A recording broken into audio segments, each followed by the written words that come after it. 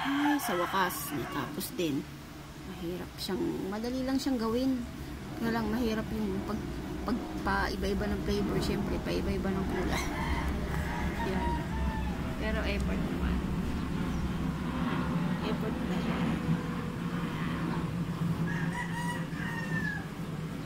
Wala lang, invento-invento lang pag may time. Yan ang ano ko. Pinagkakabisihan ko pag walang pasok sa EPSA. Yan. Daming flavor niya. Ilang flavor yan. Merong strawberry, buko pandan, mango, orange, chocolate, ube. Itong blue, dapat blueberry to eh. Eh wala pa akong nakukuha ang blueberry. Kaya kulay blue na lang. Yan. Maganda sa paningin yan sa mga bata. Gaganaan silang kumain kasi rainbow color. Hirap nga lang pag malitang steamer. Bikini men.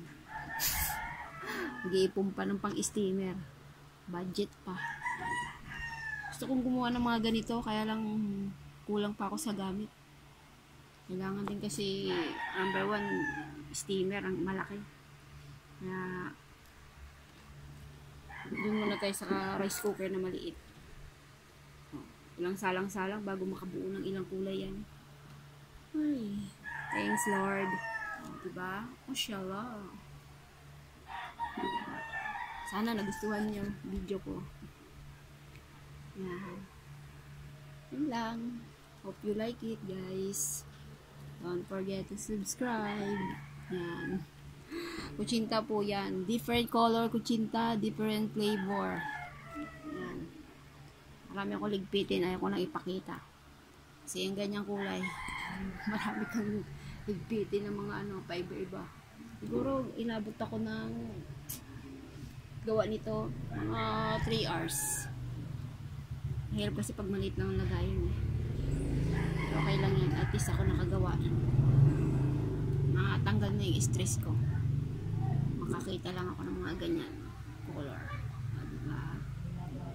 Kasunod, invento pa ako ng marami. Hindi ko nga na ano eh. Ay, Diyos ko. O, diba? Yung isa sa gitna malaki.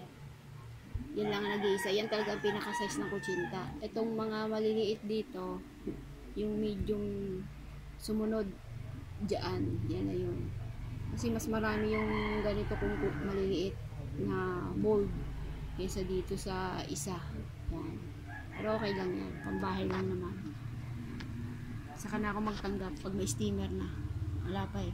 Mahal na steamer. Hindi ko pa kayang bumili. Hi. Okay, hanggang dito na lang guys. Thanks. Thanks for watching. God bless.